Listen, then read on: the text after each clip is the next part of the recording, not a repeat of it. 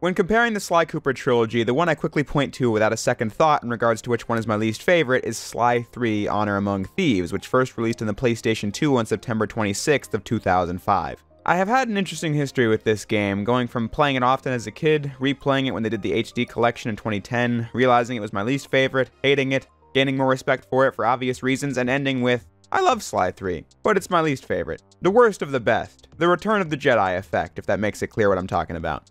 It's got some fantastic elements and wraps the series up, but also stumbles in ways I didn't think Sly 1 or 2 did. However, for a large portion of Sly Cooper fans, Sly 3 is the favorite. Picking which of the four Sly games is a person's favorite is almost always a battle between Sly 2 and Sly 3, with it often being a battle between Sly 1 and Sly 4 for which one takes last place. As I've mellowed out as a person, I can't say I really care to see one game win out over another. Today, I'm not here to tell you why Sly 3 is the worst game in the trilogy with an hour and 11 minutes worth of examples. I have no such agenda.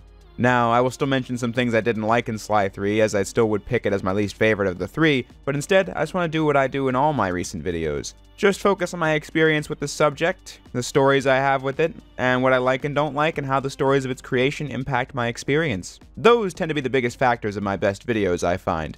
To explore what makes Sly 3 so great, I see no better way to begin than its creation, which was done in a unique fashion compared to Sly 1 and Sly 2.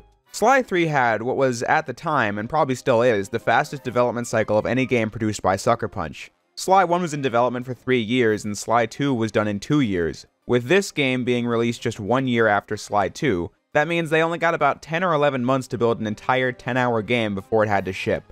This also being a smaller development team than a lot of AAA studios at the time, so it sounds like a daunting task, and I suppose it is, but they had their reasons. The PS3 was due to launch in 2006, so I'd imagine they wouldn't want to work on a PS2 game for that year, nor launch Sly 3 on PS3 when the whole series was so at home on PS2. That's merely speculation on my end, though. What we do know is that Sly 3 was more of a fun challenge for the team. How much can we accomplish in under a year? A challenge to look back on fondly to this day. When diving into the game, I can see why they had that confidence in their ability to pull it off, because Sly 3 shows that Sucker Punch were masters of their sly craft at this point. The animated cutscenes are the best in the series, with more movement in the characters than ever before, while still maintaining the feel of a graphic novel. The characters are consistently on model, unlike a few bits of Sly 2 where the poses might look a little weird and the proportions might get screwy. Sly has six fingers here, I challenge you to unsee that. None of those issues are present in Sly 3 as the production value has been raised across the board. The visuals popping much more in Sly 3 as the characters all appear more vibrant and saturated. The developers worked hard on the particle effects to give the combat, for example, a cartoony feel. Just compare Sly's cane swipe in Sly 1 and Sly 2 to Sly 3 and you'll see what I mean. Several areas will come with day and night settings with different skyboxes and lighting conditions throughout the streets. The in-engine cutscenes haven't seen much of a boost from Sly 2, still just relying on poses they reuse over and over again alongside gameplay animations, which will look really stiff when you see Sly walking, for example. But I still think that from a production standpoint, Sly 3 shows that Sucker Punch is getting the most out of the PS2 that they could, taking everything they had learned thus far into account to really up their game visually. Their mastery of pacing and intrigue is evident throughout the prologue as Sly and Bentley alongside five mystery characters are raiding Cane Island, the home of the fabled Cooper Vault. The location that Sly's ancestors had placed their vast storage of wealth and treasure. Sly obviously looking to collect. I had played Sly 1 and 2 before this, so you go in expecting this big job that's going to end with a chase with Carmelita and a getaway, but this game maximizes the suspense in that the setting is totally different from anything we've seen before, the Cooper Gang suddenly has a bunch of new members, and all this is happening while the player's main question starting the game would just be what happened to the Cooper Gang after Sly 2? Evidently, a lot. The vault is about to open as you get introduced to the new main villain, Dr. M, who owns the deed to the island and has been trying to get inside the vault for years, but only a Cooper Cane can do it. The prologue ends on the note of Sly about to be eaten alive by Dr. M's monsters, but then get the context. Sly 3 is one of those, yeah, that's me. You might be wondering how I got into this position kind of stories. It's explained that following Sly 2, Bentley was permanently paralyzed from the waist down, and Murray feels guilty for what happened and quit the team entirely, while Sly comes to learn of the Cooper Vault from a member of his father's gang who's currently doing time. Bentley learning to overcome his limitations by building the most superpowered wheelchair you've ever seen, complete with rocket boosters and bombs. It's pretty cool. Sly and Bentley realize that they alone don't have what it takes to overcome Dr. M and his massive operation on Cane Island, so they knew they needed to grow their ranks if they wanted to make a play for the Cooper Vault, setting up Sly 3. Getting inside the place would take precision, creativity, and moreover, it would take an army of world class thieves. Finding and bringing together that much talent won't be easy, but to get inside the Cooper Vault and collect my inheritance, I was willing to pay the price.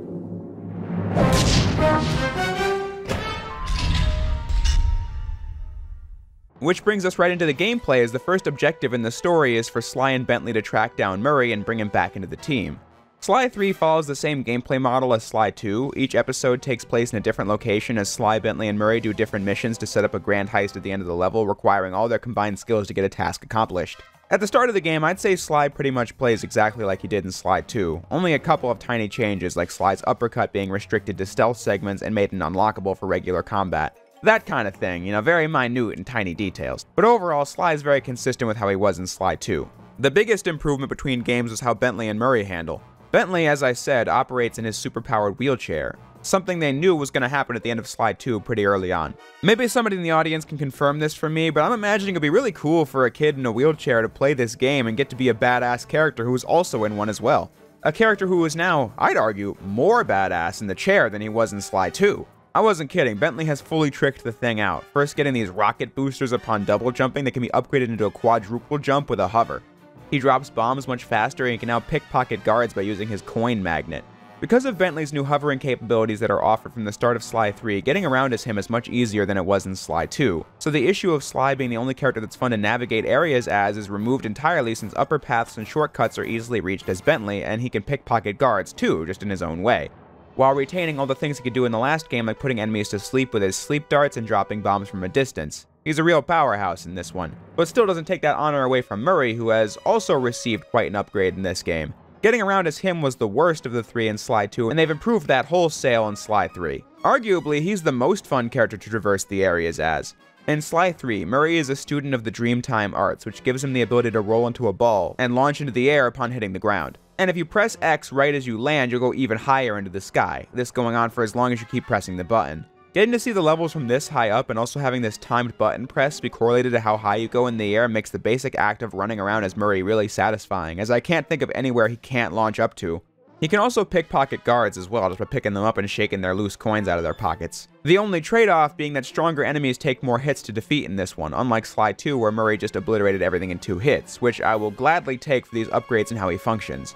For the most part, I think Sly 3's hubs are smaller than the ones in Sly 2, but they feel bigger to me because they're divided up into different sections. Sly 2 maps, as I said, revolved around singular focal points like the Peacock sign in Episode 1 or the prison in Episode 4. In Sly 3, if you look at the map of Episode 1, for example, the left side of the map is where the giant police station dome is located, right next to the giant Octavio sign. But on the other side of the map, you have the Rialto Bridge and Octavio's Opera House. Episode 3 having one fourth of the map be the hotel area, another fourth the fields, the airplane garages next to that, and finally the Black Baron's castle in another corner. Making it extremely difficult to get lost since each part of the hub world stands out visually from the other spots. That comes in handy too because Sly 3's maps lack the exploration you could get from Sly 2's. This game removed clue bottles and safes from the maps, as well as treasures you could collect in exchange. Clue bottles I can take or leave, but the treasure was a big loss in my eyes. I say that because buying upgrades is still a major part of Sly 3, in the last game, I bought upgrades I thought were the most useful, but that just means that a lot of them, like Bentley's Health Extractor or Sly's Stealth Slide, are just not going to be purchased. Sly 3 still has a lot of those, but they made pretty much all the upgrades fun to use. The added visual flair helps, like Bentley's rocket boost on the ground or Sly's rocket shoes and the shadow powers, but also, Sly can upgrade his cane attacks to charge up to a third level to unleash devastating spin attacks, charge attacks, and jump attacks that just destroy enemies and bosses. However, the player's only way of getting coins in Sly 3 for almost the entire game is by pickpocket grinding, which only yields about 100 coins at a time, so you have to choose wisely what upgrades you want to buy when you'd want almost all of them. Combine that with how you also have required upgrades like the grapple cam sprung on you, you just don't feel like you should buy a lot of upgrades for fun since you don't usually have that many coins in this game. But luckily, the best upgrades that expand your mobility are unlocked from the start, so you don't have to worry about those. Murray's new abilities make it so there are more missions the developers can use him in, beyond the beat 'em up and escort missions they'd repeat in Sly 2. Now, he's got missions akin to those in Sly 3, but might also need to use his bounce move to take out tar drums from high above, or use it to sneak by lasers he'd get hit by if he stood up. Variety is something Sly 3 wears on its sleeve, and in both this playthrough and my last playthrough in 2021, I've realized that this was a major win for Sly 3 over Sly 2, when I used to see it as Sly 3's biggest con. Your mileage may vary on this, but for a lot of players, Sly 2 starts feeling monotonous by the end as each episode reuses a lot of the same missions over and over, like pickpocketing as Sly or beating up enemies as Murray. In Sly 3, the tasks of the gang members themselves are given more variety, as Sly in three of the episodes has to make use of disguises to navigate around areas. So a few missions will be dedicated to that. Other missions might use his photography skills outside of the need for basic recon like Sly 2. Bentley gets new gimmicks like his talent for art decryption locking and the grapple cam that he uses to survey areas and lure guards with.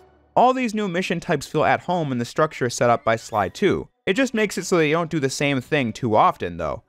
I mean, Sly 2 had like 18 hacking minigames that often reused the same map with more enemies again and again. But in Sly 3, you only do it like 6 times and each map is distinct. The levels themselves also come with more platforming, like the sewers bit as Sly in Episode 3 or the cave exploration missions as Sly and Murray in Episode 2. As if that wasn't good enough, the Cooper Gang expands its roster by four members by the end of the game. The new characters are side portions compared to the main trio, but what I like is that they provide their own twist on Sly gameplay that the game continues to build and challenge throughout. The Guru begins by riding on the backs of guards to bash obstacles in Episode 2, which grows into chasing down targets in Episode 3, and ends with hopping from shark to shark in the middle of the ocean in Episode 6. Penelope gets all the RC missions relegated to her as the difficulty curve grows in a similar manner to the Guru. This mission with carefully avoiding lasers of the RC car in Episode 4 being one of my favorites. I also love Dimitri's segments as he has one swimming mission that's quiet and atmospheric, but tense due to all the sharks surrounding you, but then another swimming mission that's a real test of your reaction time as you quickly dodge obstacles. Carmelita also gets into the mix as a playable character in dedicated shooting levels, but even that doesn't cover how much variety is in Sly 3. There are speedboat chases, biplane duels, and an entire pirate ship game of traveling the ocean and raiding other pirate ships for treasure in Episode 5. It's an entirely fleshed out sub-game with ranks depending on your total wrecked ship count, strategy in that opposing ships are weakest in the front and the back, decision making in that sinking a ship will net you less coins than raiding it when it's about to go under, all just sitting inside of a full level with platforming and other minigames. This being the best way to get coins in Sly 3 for those who were curious. Sly 1 was criticized most for being too short, and so Sly 2 was much longer. That game was critiqued for lacking in replay value, so Sly 3 is bursting at the seams with content while also being as long as Sly 2 in its campaign, if not longer then giving you a bunch of things to do in the post game, like replaying missions, doing ranked challenges, replaying missions with these red and blue 2000 3D goggles, and playing the game's multiplayer. If you wanted to, Sly 3 is a game that could last you a while, and that would come from more than just replaying the campaign like Sly 2. Of course, Sly 3 doesn't have a perfect roster of missions. Whenever replaying this game, I always groan when I get to this crane game in Episode 2, or the sewers in Episode 3, or the Cooper Hangar Defense, also in Episode 3. The non-tent minigames in Sly 3 are easily the worst parts of the entire thing. Segments of brainlessly mashing buttons to get through easy segments that go on a really long time. Moments like these are the ones that stick out the most when I think back on why Sly 3 is my least favorite in the trilogy, because Sly 1 and 2, even in its most minigame of minigame segments, never felt this dull. The Panda King being an entire playable character who meets the criteria to be labeled non-tent, as you just point at enemies and hold down the aim and fire button for what feels like 10 minutes. At least his second mission feels a little more active as you have to make sure the ship doesn't sink, but the first mission was as dull as it gets. Although, in the grand scheme of things, I think Sly 3's minigames were an absolute win, since I can only think of three truly bad examples in a sea of fun variety that prevents the game from ever coming close to being stale. Sly 3 really went all out in terms of set pieces and ideas. Sly 2 reused countries and guards between episodes as each one was only about an hour long, so they wanted to get as much out of the villains and story as possible, but Sly 3 made each level last for 90 minutes to 2 hours, packing them full of unforgettable set pieces like raiding Octavio's house from the basement all the way to the computer room, or the Cooper gang taking over the lemonade bar from the miners or the aforementioned biplane duels. Taking every last drop of inspiration they had and pouring it into the game. An entire level based on pirate ships, a boss fight where you fly above bamboo, the game has it all. That makes it very easy for me to see why Sly 3 is the favorite for so many people. It has so much diverse content as a really epic feeling game with constant action. Like I said, I no longer have an agenda to tear this game down. I think it's awesome. I just happen to prefer Sly 1 and 2. Like, Sly 1 is the 9.5, Sly 2 is the perfect 10, and Sly 3 is the 9.0. I've got nothing against this one besides the small issues, but I think it's still goaded overall. Which just leaves the story and writing. I'll say up front, Sly 3 is the story that as far as structure is concerned is my least favorite of the three. I mean to say that Sly 2's narrative just sucked me into the world of the game when I was a kid. There were twists and turns around every corner that even the critics at the time thought was really well handled. The overarching narrative that unfolded from one episode to the next is peak Sly Cooper structure, if you ask me. Even in Sly 1, which is far simpler as a story than Sly 2, was all about Sly's personal mission to reclaim his birthright from five fiendish felons. The basic arc and level-to-level structure also keeps me invested. Sly 3 is one that, looking at it from a surface-level perspective, seems the most disconnected. The closest you get into an overarching story is that you release Dimitri from jail in episode 1 and then make a deal with him in episode 3 that you'll help him later, which happens in episode 5 as he joins the team as a diver at the end. Overall, each episode of Sly 3 is pretty self-contained, following a basic pattern. The Cooper gang will see an opportunity to grow their ranks, but in order to do that, they need to complete a task on behalf of the person who will join, or in Murray's case, rejoin the team. So there's no big villain team up in Sly 3 or episode cliffhangers that will leave you begging to play more. To the point where you might actually lose sight of the goal the game is building up to, which is using this larger team to open the Cooper Vault, since everything that actually happens within the levels has nothing to do with that. Each level just opens up with this person's skills will help us with the Cooper Vault job, and here's what they want, so we have to go do it. A largely episodic structure is, like I was saying, not how I'd structure a Sly game if I were in the writer's room, but I'm also not a screenwriter, so I wouldn't be in the writer's room anyway. So while it's not the idea I'd come up with, I'd say it was worth a shot after the plots of the previous games, and I'd also say it worked quite well, because now the game has to stand up on the legs of its character writing alone, and it's here that Sly 3 really shines. For starters, I think Sly 3 is easily the funniest game in this series. They know these characters and what people like about them, so you just get them bouncing off each other's energy, and the result is really entertaining. All right, boys, look tough and get angry. It's time to intimidate the locals. I'm not sure I can do it. How do you guys get angry? Find the match deep inside yourself. Light it, and let the fire burn up your guts and boil your blood. Uh, yeah, I pretty much do the same thing and you just have characters tossing out good one-liners whenever they get the chance. And I don't just mean the main characters, just the way the villains speak so dramatically in highs and lows gets a chuckle out of me, and that includes NPCs too. Bentley steals the show when it comes to the funniest moments in the game, no better example than his confrontation with Mugshot in the hotel in episode 3. You know, I've been thinking about your appearance. Look, if you don't got nothing to say nice, then don't say nothing at all. Get it? What? Ain't got no sassy comments, smart guy? Oh, I get it. You got nothing nice to say, so you're keeping quiet. That's real cute. You really got nothing nice to say? That's cold. Your mother was a broken down tub of junk with more gentleman callers than the operator.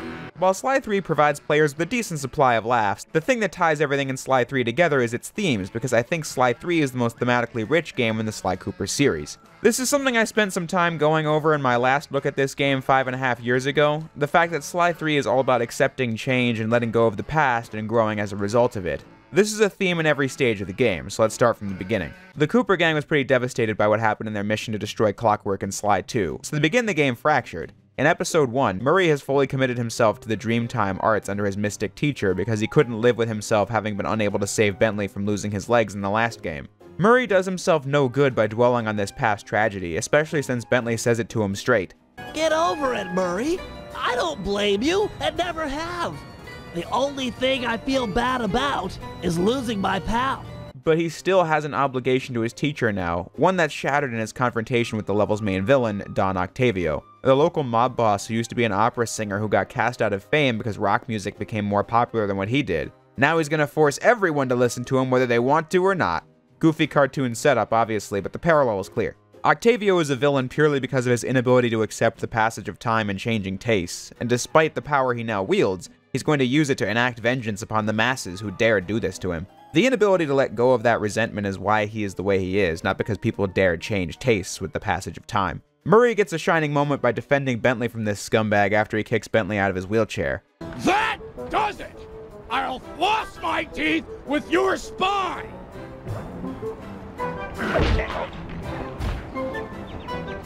The Murray returns! The inner peace Murray was seeking was this all along, moving past the traumas of before and just doing your best now, which is why he can rejoin the gang after all is said and done. Episode 2 is the least connected here since the goal is getting Murray's guru to join the gang, a character who only speaks gibberish that everyone miraculously understands, and the villains are tearing up his beautiful Australian landscape, so you have to help him stop them. Guess you could say the point is that change in the pursuit of selfish goals is bad, but that's about all I got. Otherwise, it's a pretty dry level in terms of story and gameplay, but then in episode 3, you have the RC specialist Penelope who will only join the gang if they beat her boss, the Black Baron, in a dogfight. But the truth is that Penelope is the Black Baron. She created the character to get past the Aces competition's age restrictions, and then it took off and became an icon, so she felt she needed to keep up appearances more and more as the years went on. The Cooper gang freeing her from this toxic influence in her life. The level you meet her in shows how she's fiercely loyal, and now that's going to the Cooper gang, although you have some tension seeing as she and Bentley basically catfished each other to get to this point. Episode 4 being where the themes hit the hardest because it creates a difficult situation for Sly himself. Bentley decides the only demolition expert they should seek out is the Panda King from Sly 1, but he's now a shell of a man following his defeat at the hands of Sly years ago. Sly has to grapple with the fact that this guy was on the team that killed his parents, and the Panda King equally wants nothing to do with Sly because Sly destroyed his empire. Now, obviously, the story isn't saying feel bad for the Panda King because Sly stopped him from murdering people en masse. It's merely a larger plot about resentment and trauma yet again, as the Panda King's daughter was abducted by a warlord named General Tsao who wants to marry her to unite the lineages of Tsao and King. The writers pulled this character back from Sly 1 to tell that story. The Panda King was always a spiteful person, that's his backstory after all, but his whole arc is coming to terms with what he's done to save his daughter and recognizing how much Sly has lost because of him and his cohorts and how Sly is able to put aside their differences, so why shouldn't he? They still aren't friends, their scenes together are intentionally awkward, but it's all in the larger story of growth and change. The conflict between the two is perfectly shown at the start of episode 4 as the Guru manages to bridge the minds between Sly and the Panda King, King just endlessly replaying the fight he had with Sly years ago. Sly aptly saying, We both know why you're here. You're fixated on the moment of your greatest defeat. I beat you, and forever after you've wondered how it all fell apart. I hate you, Sly Cooper. You've ruined me. Ruined the Panda King. And I've hated you, but that doesn't make any of this real. Years have passed, and we've both changed. Come out of this trance. Let's meet each other as we are today, and let go of who we were when this fight occurred. You are correct. Forgive me. My mind is not always my own. Leading to Tsao as a character. He's just the worst of the worst, a total scumbag, and someone forcing Jing King to marry him, uttering this line to really drive it home how he's got no decency whatsoever. But she doesn't want to marry you. She's a woman. She doesn't know up from down. Once I convinced her father to take up meditation, she was ripe for the picking. I faced a lot of bad men in my time, but you, sir, are the worst. He's also obsessed with status and lineage, him thinking Sly is a good adversary because of his own family history. But again, Sly says it succinctly. It's not about the family name, pal. It's what you do with it. By this point in the game, its themes are pretty clear. The heroes and villains are all defined by an opportunity for change. The heroes always take it and grow from it, and the villains don't, falling deeper into cycles of tradition and resentment. Which naturally leads to a discussion on our three main characters and the final boss of Sly 3, Dr. M. Bentley's whole arc in Sly 3 concludes what his character has been about since Sly 1, coming out of his shell, which he did do in Sly 2 but was set back a bit because of what happened to him in that game. However, he comes back stronger than ever, leading the mission to rescue Penelope from Captain LeFwee in Episode 5, resolving the romantic tension between them that's been building since Episode 3. Throughout all this, Sly's been pretty static, watching everyone around him change, doing so partially because of his positive influence. Which brings us right back to where we started. Getting crushed to death in the fist of some genetics experiment gone wrong. Not the way I thought I'd go out. Here I am at the end, and suddenly all I can think about is what a coward I've been towards Carmelita. Sly has had this game of cat and mouse with Carmelita go on for years at this point, and in his dying moments, all he can think about is how he should have just given up on this legacy of trouble and just be honest with himself and Carmelita, who turns up to save him from the monster attack. But really though, the Cooper legacy has, at this point, brought nothing but pain. Clockwork had that burning hatred for the Coopers that caused him to become immortal to attack them generation after generation, Sly fighting back and getting the Thievius Raccoonus restored. But then we see how much pain was brought upon the entire team trying to destroy Clockwork and Sly too, not just Sly himself. The Cooper legacy has brought this upon them, and now that Sly has restored the book and killed Clockwork for good, why are we still doing this? Sly fully realized that in what he thought were his final moments, a scene that I thought was pretty intense when I first played this game however many years ago. Fun fact, if you die as Carmelita in this boss fight, the game over screen is Sly getting eaten by the monster. That's an image I'm not going to forget. Once you actually get inside the Cooper Vault, it's empty, filled with enough wealth to last 10 lifetimes, but at what cost to each of these people as individuals? It's almost haunting in a way, rather than satisfying to see as the place is filled with nothing but death traps. The Cooper legacy is nothing but a cobweb-ridden den, one that's filled with more money than you could ever imagine, but is this a legacy worth leaving behind? Sly's father's portrait's even cut off, this level showing us that the man was so powerful that he'd mastered the ability to walk on lasers, but nobody will ever know because the Cooper legacy is one of misery and isolation. While Sly has great reverence for his lineage, he's starting to realize this fact as well. Backed by the music that plays here.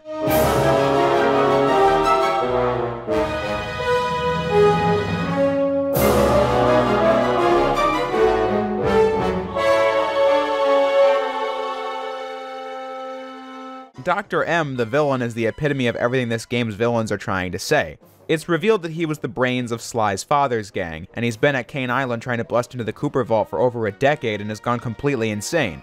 Only because he hated Sly's father so much and felt entitled to the Cooper fortune. Even though you can imagine he must have already had quite a lot to finance this operation in the first place. Once more, this endless resentment is central to the story. Bentley's final arc is a bit contentious in the fan base as many think Bentley started to question Sly at the last minute as out of nowhere. Do you ever feel like you're playing second fiddle to Sly? But I actually feel like the whole story was building up to it as Penelope almost fell for Sly, causing Bentley to feel a little bit like all his efforts never get seen. So when Dr. M says this to Sly, Then why is it called the Cooper Gang, you self-centered egomaniac? it causes Bentley to think about it. But Murray snaps him out of it. Think of it this way, Bentley. If it were you in that vault and Sly and I were out here, what would he do? Stop these thugs and protect his friend. Right, and that's what I'm gonna do. This Cooper gang won't be like the last one and keep this never ending miserable cycle going. These guys are brothers and are gonna fight like it. Leading to the final battle where Sly, who's all about growth and change, comes face to face with Dr. M, who is the antithesis. The game ends with Sly getting the chance to make things right with Carmelita, and he takes it, faking amnesia as a way to start over. But as Bentley says in the ending, Dr. M refused to leave the vault that was crumbling around him. He'd spent his life lusting over the Cooper fortune, and he wasn't going to give it up, no matter what the cost. dying alone with nothing but his hatred at his side. Did him a lot of good, right? Sly 3 set out to give the series a satisfying payoff as all three of our main characters finally decided to just move on with their lives. Bentley and Penelope using their genius for scientific pursuits, Murray going all in on his driving and mechanic skills, and Sly living life with Carmelita. I spent all this energy on how Sly 3 is a story about making positive change because it truly is the core DNA of the plot. Everything the game was about in both its serious characters and its comedic ones is building up to this ending.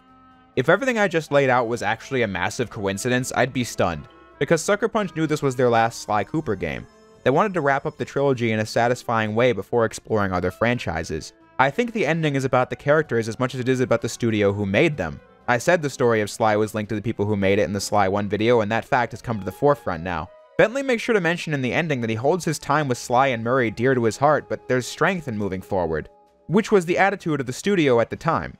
while it's fun to live and uh, and stay with your uh, family, you know, it's useful to move and it's useful to go somewhere new and have new experiences. And I think that was uh, something that we were pretty clear on that we knew we were going to do Sly 3 and then we were going to go do uh, new IP. It was great fun working on Sly and growing so much as a team and getting all the letters from the young fans who played Sly, but when you've said all there is to say, it's good to branch out and try new things.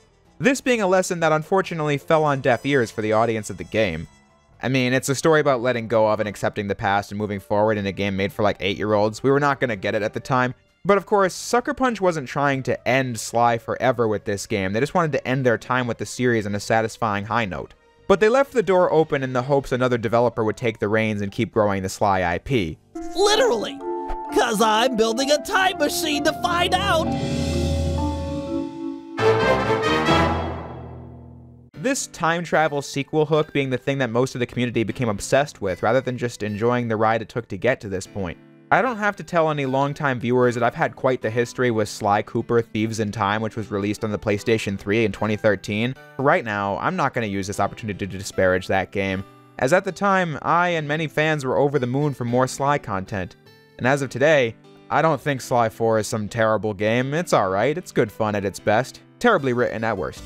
But the reason I bring it up is that as the years have gone on since that game was released with its cliffhanger ending, I just look back and see the ending of Sly 3 for what it is. The ending of these characters. Sly 3 was all about moving on, trying to achieve more out of life. That's what I see in Sly 3. It makes sense that the young audience didn't get what it was going for back in 2005, and it was nice to see the crew again in Sly 4 as sort of a reunion show. And I would love to see Sly one last time in a remade trilogy like Crash and Spyro got a few years back. However, I think we, as in all the members of the Sly community, should just accept that Sly 3 ended the way it did and that was on a good note. I'm not saying to hate Sly 4, don't twist my words. I mean that in the years since the ending of Sly 4, fans have desperately clawed in every imaginable way in the hopes of getting a Sly 5. When I think that desperation just shows that a deeper understanding of Sly 3 was never reached. If Sly 5 or a remake, reboot, or whatever happens, I'm there day one. But if not, I'm also content just enjoying the content we had instead of endlessly begging for more of it, holding on to this resentment of newer, more popular games like Don Octavio himself. I think more people are coming around to this idea with each passing year, seeing as it's now been longer between Sly 4 and the present day than it was going from Sly 3 to Sly 4. And as the ultimate expression of understanding, I'll follow my own advice. As has been made clear a couple times now, this is my third time reviewing the Sly Cooper trilogy, it's almost a meme how I'm always going to keep coming back to these games again and again, but honestly, I think this should be and will be where it ends. In a few months, I'll be back to talk about Sly Cooper Thieves in Time again for its 10th anniversary, but if we don't get a new game, I think it's time for me to stop past that point. A big talking point I was planning on bringing up in this video was that in the years that I haven't been regularly covering Sly like I used to, I've started to share the sentiment that Sly 1 is the most replayable game in the series and that the gameplay structure of Sly 2 and onward is fundamentally flawed and that it provides almost no challenge whatsoever. I do think a new Sly game should make some changes to the formula, making it a little more challenging than it currently is. I mean, Sly jumping and pressing the circle button has a 0% chance of failure, it's just not that satisfying to do but I am more self-aware than that now. Sly 2 and 3 might not be as hard as Sly 1, but I find them to be so easy because I've played these games a million times. If I had to guess how many times I've played the Sly Cooper trilogy games combined, I think the number might break into the 70s or 80s. It's gotta be a total of 30 times across all three games in the history of this YouTube channel alone. Of course I don't find much challenge in these games, I've seen it a gazillion times. But then I think back to when I was a kid, I got my butt kicked by the boss fights of these games. Me and a bunch of other kids in my family's Super Bowl party spent forever trading the controller back and forth trying to get through that Bentley mission with the RC chopper on the train in Sly 2. I died over and over on these biplane missions. It took me a while to get past the gunner minigames in Sly 2 and 3. My sister and I could barely comprehend the treasure map mission in Sly 3, so our mom had to help out in deciphering them. These were challenging games for a kid, and that's pretty much how it was designed. They were meant to be games you didn't have to be a gaming veteran to play, but would still have some challenge. The truth is, in my love of Sly, I simply ran the games into the ground. I will replay these games hoping to feel the same magic I used to, and it's not that I got older, it's just that I played them so many times to the point where the magic is gone. I'd have to go a very long time without playing these games again for them to feel fresh. While games like Resident Evil 2 Remake or Mega Man X were designed for that endless replayability, I don't think Sly was. So it's that fact that made it so that for these videos, I was completely on autopilot during Sly 2 and Sly 3. Now, am I being negative? No, I'm just reflecting. It all happened because Sly 4's announcement inspired me to keep replaying the games over and over again so I'd be a master of the series in time for the new game. That didn't do the game any favors, gotta say. But then, out of hate for Sly 4, I'd keep replaying the games over and over, and then I started doing YouTube and did the same thing. And that's pretty much how we end up here. I haven't played The Last of Us that many times because I knew I just didn't want to ruin the game for myself like I had done with Sly. Again, I don't use the word ruin to say I don't like Sly. I don't regret putting that time in. I love that I can quote these memorable lines till the moon turns blue. I'm just saying that I think it's time that I myself learned that lesson that Sly 3 was teaching. I've been in this quest to do the perfect Sly videos for years. Now, I have videos I can look back on and say, yeah, this was good enough. And I think that's a natural point to just stop. In five years, borrowing a new game or whatever, there won't be a need for me to come back and make all these same points again, only done in whatever style I've adopted by that point because I've said everything I need to say about this series, especially by the end of my 10 years later on Thieves in Time. So it's better off that I just accept that fact and move on. Not away from Sly, but towards other things because it will always be with me. And thankfully, I've seemingly inspired a lot of other people to try it too. The comments section has revealed that my videos on Sly and my constant quotes from the series and other videos has piqued the curiosity of the audience who had never tried it and the ones who have really liked it. That's something for me to be proud of. I've spread the love of Sly Cooper to more people who can play and replay the games to get the joy I've gotten out of them now that I have admittedly run it into the ground myself. So speaking for myself, I'm going to keep talking about Sly whenever relevant in videos because this franchise will never stop being important to me. It'll never not be a source of unforgettable memories and moments. The highs and the lows, the heroic moments, funny moments, or even sad ones. I remember me and my sister reenacting the lemonade bar scene in Sly 3. And there was no way I didn't wet the bed that night. Or how we used to play the cops in robbers mode from the multiplayer again and again. I was the kind of kid who would turn off the console before letting the screen say that I lost. That kind of stuff. It may be a long time before I play these games again. I may go over a lot of this same conclusion ground in my Thieves in Time video, but all I can say for now is just that the Sly Cooper trilogy is one of my favorite things to ever exist. Whether I play them all the time or only once every few years going forward, and that's all that really matters. And I'm glad I've gotten the chance to paint that picture one last time. So to close the video, I'll say what I always do. Thank you all for watching, and I'll see you next time.